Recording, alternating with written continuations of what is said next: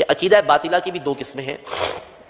वो अकायद नज़रियात कि जिनका एतक़ाद रखने की वजह से बंदा काफिर करार पाता है।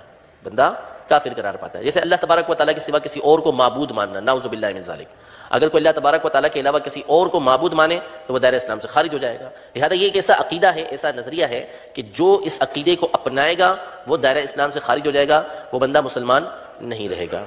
दूसरा वो अकीदा कि जिसकी बुनियाद पर वो गलत अकीदा रखने की वजह से बंदा दायरा इस्लाम से तो खारिज नहीं होता, लेकिन दायरा सुन्नीत से खारिज हो जाता है, अहल सुन्नत से उसका ताल्लुक बाकी नहीं रहता। जैसा कि इसकी मिसाल हमने पीछे यजीद के फिसको फजूर की दी, अगर कोई शख्स नाउज़बिल्ला यजीद को नेक पारसा मानता है, मुत्तकी मानता है तो ऐसा शख्स जो है वो दायरा सुन्नीत से अहल सुन्नत के दायरे से खारिज हो जाएगा।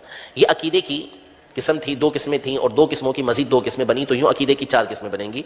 पहला वो अकीदा सही अकीदा कि जिस पर इंसान के मुसलमान होने का दारो मदार है, दूसरा वो कि जो अकीदा बंदा रखे तो वो सुन्नी रहेगा।